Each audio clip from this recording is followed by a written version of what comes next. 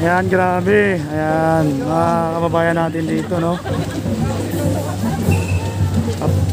Ito po mga kababayan, papasok pa lang po ito, no, sila. So, kahit na umuulan po, tuloy-tuloy po ang, ah, yes, tuloy-tuloy po yung pagpasok po nila at nakikita po natin na talagang hindi po sila nagpapatinag, no, kahit na anong lakas ng ulan, ano, kahit umulan, umaraw, ay ang ating mga kababayan dito sa Tacloban City ay tuloy-tuloy po ang kanilang ah, suporta sa ating mahal na BBM at Inday Sara, no. So, yan po, grabe.